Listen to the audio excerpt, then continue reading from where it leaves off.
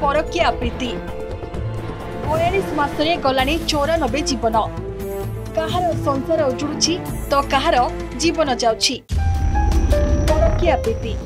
ଯେମିତି ଏବେ ସମାଜରେ ସବୁଠୁ ବଡ଼ ସମସ୍ୟା ହୋଇ ଠିଆ ହୋଇଛି। ପରକୀୟା ପ୍ରୀତିକୁ ଯେବେଠୁ ସୁପ୍ରିମକୋର୍ଟ ଆଇନଗତ ସମସ୍ୟା ଦେଇଛନ୍ତି ସେବେଠୁ ମହାମାରୀ ଭଳି ବ୍ୟାପି ଚାଲିଛି। କାହାର ସଂସାର ଉଜୁଡୁଛି ତ କାହାର ଜୀବନ ଯାଉଛି।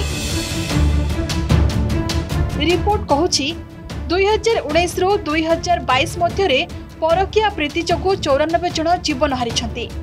ମହିଳାଙ୍କ ଅପେକ୍ଷା ଅଧିକ ପୁରୁଷ ଜୀବନ ହାରୁଛନ୍ତି।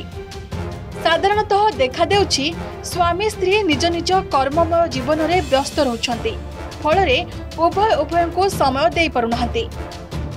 ଆଉ ସେଇଠି ସ୍ଥାନ ପାଉଛି ପରକୀୟା ପ୍ରୀତି। ପରେ ସମସ୍ୟା ହୋଇ ଉପୁଜୁଛି। ଯେ ପର୍ଯ୍ୟନ୍ତ ପରକୀୟା ପ୍ରୀତି ଧରାପଡ଼ୁନି ସେ ପର୍ଯ୍ୟନ୍ତ ସବୁ କିଛି ଠିକ୍ ଚାଲୁଛି। ଆଉ ଧରାପଡ଼ିଗଲେ କଥା ସରିଲା। କଥା ଦାଣ୍ଡରେ ପଡ଼ି ହାଟରେ ଗଡ଼ୁଛି। ଶେଷରେ ଲୋକ ଲଜ୍ଜାର ସାମ୍ନା କରୁଛନ୍ତି। ଆଉ ସହି ନପାରି ଆତ୍ମହତ୍ୟା କରିବାକୁ ବାଧ୍ୟ ହେଉଛନ୍ତି। ଏହା ଯେ କେବଳ ଅଶିକ୍ଷିତ ଲୋକଙ୍କ କ୍ଷେତ୍ରରେ ଦେଖିବାକୁ ମିଳୁଛି ତା ନୁହେଁ ବରଂ ଅଶିକ୍ଷିତ ଲୋକଙ୍କ ଅପେକ୍ଷା ଶିକ୍ଷିତ ଲୋକଙ୍କ କ୍ଷେତ୍ରରେ ଏହା ବେଶୀ ଦେଖିବାକୁ ମିଳୁଛି।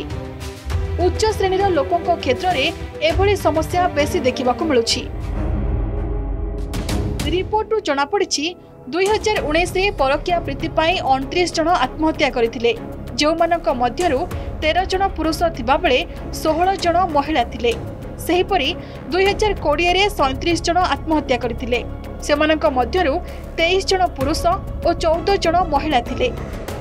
ଦୁଇ ହଜାର ଏକୋଇଶରେ ତେର ଜଣ ଓ ଦୁଇ ହଜାର ବାଇଶ ଜୁନ୍ ଶେଷ ସୁଦ୍ଧା ପନ୍ଦର ଜଣ ଆତ୍ମହତ୍ୟା କରିଛନ୍ତି। Bureau report Argus News.